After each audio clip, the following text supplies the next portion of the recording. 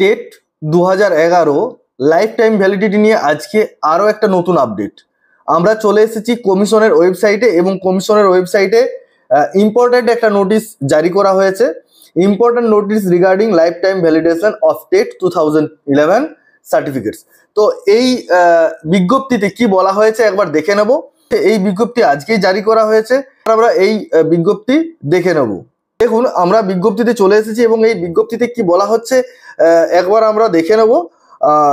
সবচেয়ে বড় কথা আমরা বলে রাখি যে, আজকে যারা টেটের সার্টিফিকেট সংগ্রহ করতে গিয়েছিলেন, তাতে করে প্রচুর সমস্যা হয়, অনেক ঝামেলাও হয়, অনেক রকম সমস্যার সৃষ্টি হওয়ার জন্য এরকম একটা বিজ্ঞপ্তি জারি করেছে কমিশন। এবং কি বলেছে একবার দেখে নি স্ক্রিনে আপনারা প্রত্যেকে দেখতে পাচ্ছেন যে বিষয়টা বলা হয়েছে যে, একত্রিশে জুলাই পর্যন্ত সার্টিফিকেট যেগুলো টেট সার্টিফিকেট যাদের তোলা আছে আর কি, যে টেট সার্টিফিকেটগুলো তোলা আছে, সেইগুলো একত্রিশে জুলাই পর্যন্ত দুপুর দুটো পর্যন্ত জমা দেওয়া যাবে।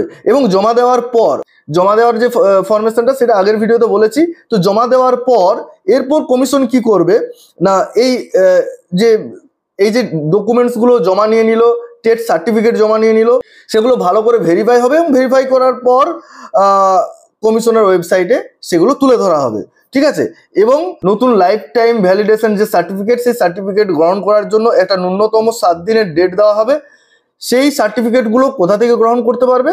না রেসপেক্টিভ রিজনাল কমিশন অর্থাৎ যে রিজনালে এক্সাম দিয়ে টেট পাস করেছিলেন, যেখান থেকে টেট সার্টিফিকেট সংগ্রহ করেছিলেন, সেখানে গিয়ে সংগ্রহ করতে হবে। তো এটা যদি একটু সামারাইজ করি, তাহলে যে বিষয়গুলো চলে আসছে, তাহলে প্রথমে যেটা আসছে, আমি একটু বলে দিচ্ছি। প্রথমে যেটা আসছে, সেটা হচ্ছে একত্রিশে জুলাই।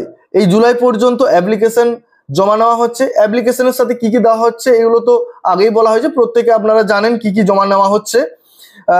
এই আবেদনপত্র যাচাই করার পর আপনার নাম ওয়েবসাইটে বেরোবে এবং কবে আপনি সেটা তুলবেন, সেই ডেটটাও কিন্তু দিয়ে দেওয়া হবে কমিশনের ওয়েবসাইটে। কমিশনের ওয়েবসাইটে দিয়ে দেওয়া হবে। এরপর এই প্রার্থীদের পুনরায় যাচাইকৃত যে সার্টিফিকেট সেই সার্টিফিকেট সার্টিফিকেট সংগ্রহ করার জন্য সেভেন ডেজ সাত দিনের জন্য একটা নোটিশ দেওয়া হবে এবং সাত দিনের মধ্যে সেটা সংগ্রহ করতে হবে। কোথা থেকে সংগ্রহ করতে হবে না সেই লাইফ টাইম ভ্যালিডেশন সার্টিফিকেটটা রিজনাল অফিস থেকে সংগ্রহ করতে হবে। অর্থাৎ সেই life time validated certificate SSC regional office থেকে পুনরায় সংগ্রহ করতে হবে। পুনরায় সংগ্রহ করতে হবে।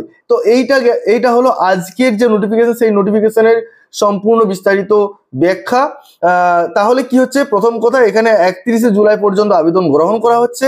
তারপর তারা সেটাকে রিভ্যালিডেট করে কমিশনের ওয়েবসাইটে তুলে ধরবে এবং সাত দিনের সময় দেওয়া হবে। সাত দিন পর বা সেই সাত দিনের মধ্যে রিজিওনাল অফিস থেকে টেট সার্টিফিকেট সংগ্রহ করেছিলেন। সেখান থেকে আবার নতুন করে রিভ্যালিডেশনের বা লাইফ টাইম ভ্যালিডেশনের সার্টিফিকেট গ্রহণ করতে পারবেন। তো আজকে ছিল এই নোটিফিকেশন এই বিজ্ঞপ্তি।